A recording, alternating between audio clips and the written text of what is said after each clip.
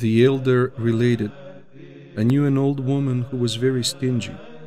Her daughter was very good, and whatever she wanted to give as alms, she would throw out the window so she could leave the house with empty hands, because her mother would always check to see if she was taking anything.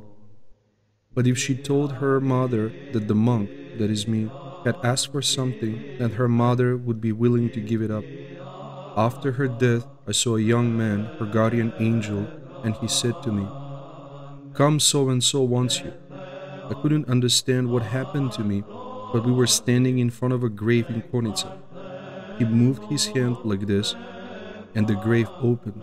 Inside, I saw a grimy mess and the old woman who had started to decay.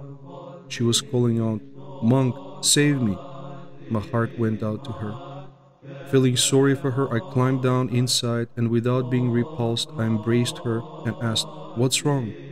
She'd said, Tell me, didn't I always give you anything you asked willingly? Yes, I said. That's true. All right, said the young man, soothing her.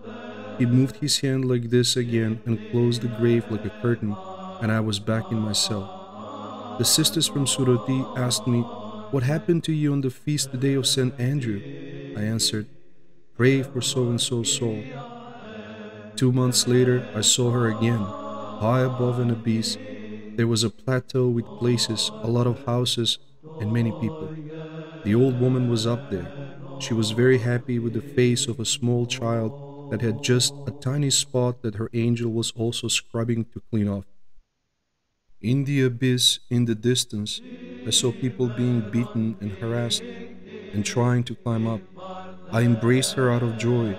I took her aside a little so the people in the abyss wouldn't see us and be hurt. She said to me, Come on, let me show you the place where the Lord has put me. Through the prayers of our holy fathers, O Lord Jesus Christ, Son of God, have mercy on us and save us. Amen.